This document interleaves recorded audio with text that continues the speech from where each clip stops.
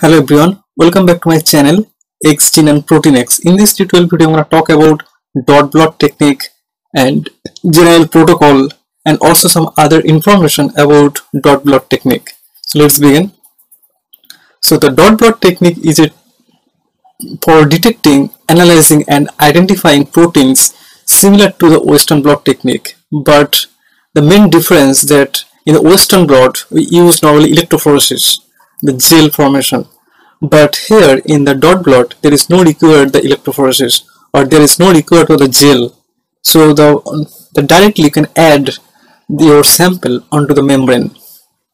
And also the main difference in between western and dot blot is that in the dot blot if you have multiple samples and the sample size is if it is uh, little less then you should use the dot blot. This is very much convenient in this case.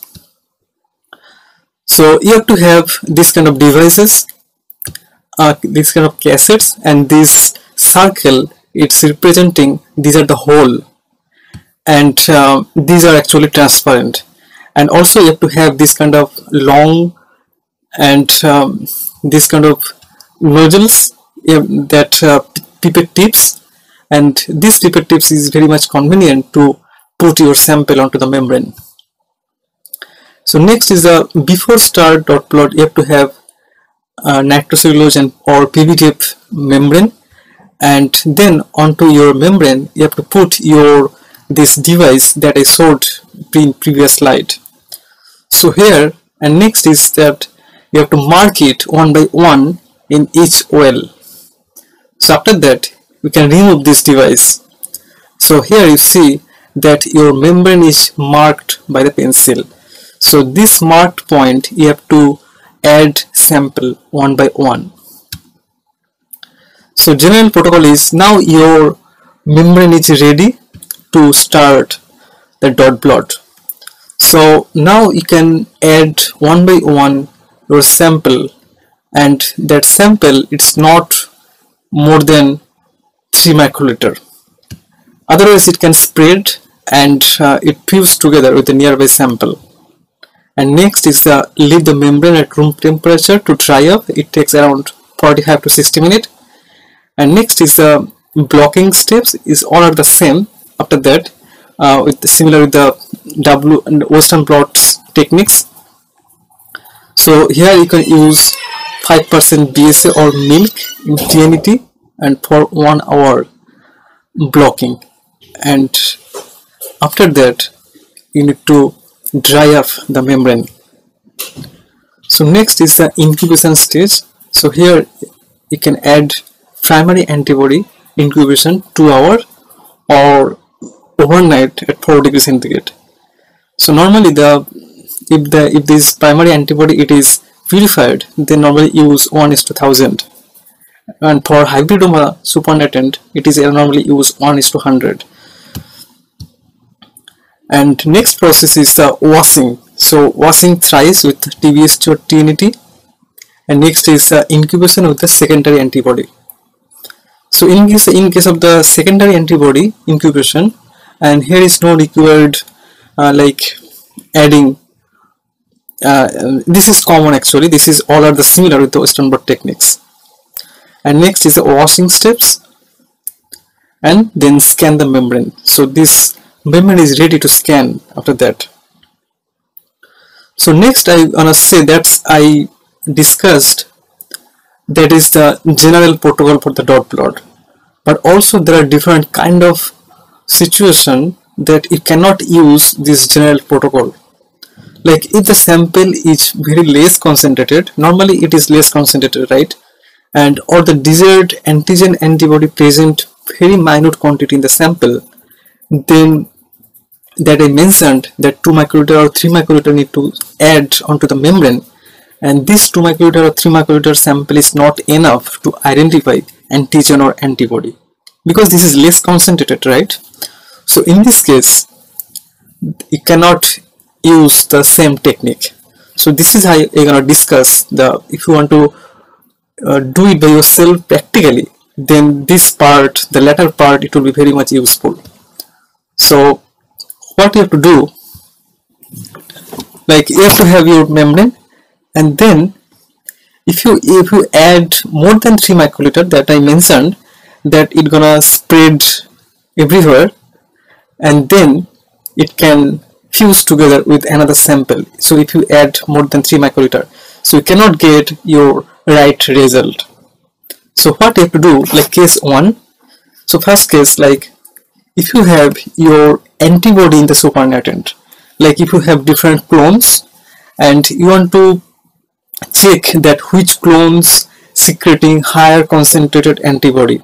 So that clones you need to select right?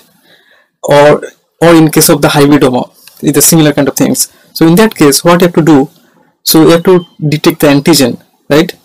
So here you have some specific antigen against that antibody right so you have to select that antigen and you have to load that antigen as your sample.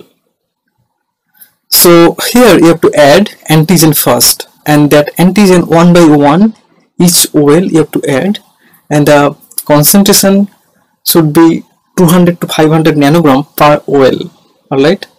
Then it will be very convenient and it will be easier to identify the detection next is the same process dry up the membrane. After adding the antigen dry up the membrane and then blocking. And after blocking also you need to dry up that membrane. And next is the that device that I showed you in the previous slide that first slide. That is the this kind of device you have to what to what you have to do. Just you have to put that device onto your membrane. So right now you're you already marked right? So you can easily put that device onto your membrane. And then you can you can fix it by the clip right? So you can see here that you can see your marked samples. While you marked you can see easily right? So now what you have to do you have to add in this step your sample that your supernatant if you have so you can add your supernatant. So in this case you can add around 100 microliter per OL but you have to have very tightly fixed with this device with this kind of binder clip. Then you can able to add 100 microliter of your sample per well so instead of 2 to 3 microliter sample you can add right now 100 microliter. So it's higher chance to get detected that antigen. So this is the case 1 and case 2 so next process is this is common. It's like washing and the incubation of the secondary antibody and then washing again and then just uh, scan the membrane. And case 2 instead of antibody if you have antigen in the supernatant then what you have to do you have you have to select some specific antibody against that antigen. And then you have to load that antibody onto the wells. So each well you can add around 200 to 500 nanogram per OL that antibody.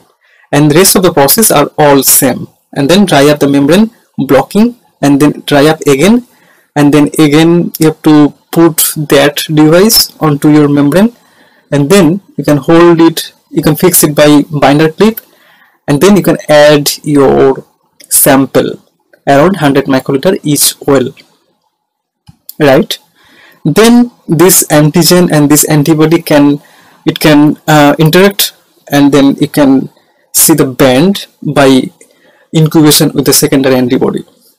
So here you have to add around 100 microliter per OL and this is this period 2 hours incubation at room temperature. Also previous one is the same. 2 hour incubation at the room temperature. That's enough. And then um, the washing and incubation with secondary antibody. This rest of the part are all are the same. So here is one of the sample that I would like to show you. That is the the 5C, 6C, 7C and 8C these are the uh, different um, uh, anti different dot blot result. So here as you see in this there are different clones. So actually this is the antibody uh, antibody sample. And I would like to uh, see the expression of the clone. So here as you see in this picture that 6c and 8c these clones are higher expressing antibody. So after that I need to select these two clones compared to the others. So these are the these two clones are higher secreting antibody. So this is why uh, this is how you can you can use um, uh, dot blot and you can follow this all of the steps. So I think it will be useful.